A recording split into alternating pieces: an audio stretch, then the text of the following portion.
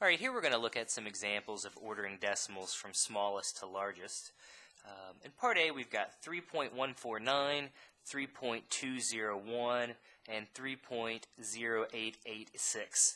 Um, so, and I think you'll often find that's how people actually say decimals. You know, people don't typically say we've got 3 and 149 thousandths. People will typically just say 3.149 because it's much easier to say, right? So, but anyways, from least to greatest. So, you know, I look at the whole number part. Well, they've all got a 3.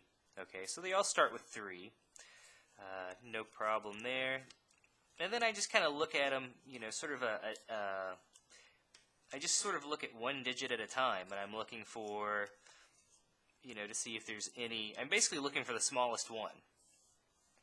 Okay, so they've all got a 3, so in that sense, to me, they're all equal. Let's look at the next digit. Well, the next one, um, we've got, oh, 3.1, 3.2, and then we would have, let's see if I can make my paper here a little smaller.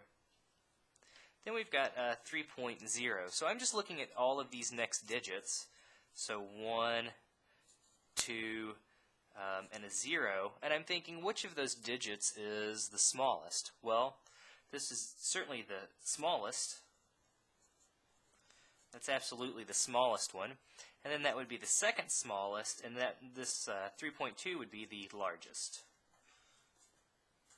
So, alright, I've got them listed now. So, um, we would have 3.0886, then 3.149, and then 3.201.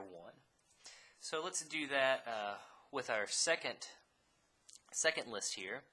Okay, so I look at the very first digit, 1, 1, 1, 1. Those are all the same, so again, it doesn't really tell me anything. Then I look at the next digit. Okay, so I'm going to look at the next digit.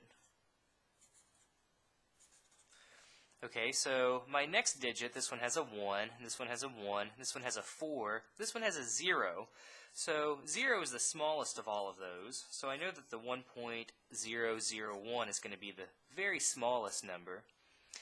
Uh, the, then we have 1s next, so the 1.1s should come next. I don't really know which one of those comes next yet, but I know that the largest one will be 1.431.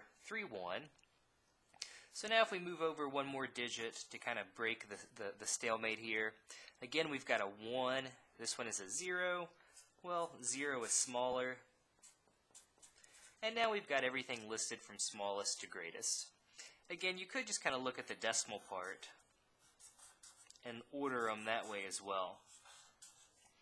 So this to me kind of looks like the number 1. This looks like 101. This looks like 110. This looks like 431.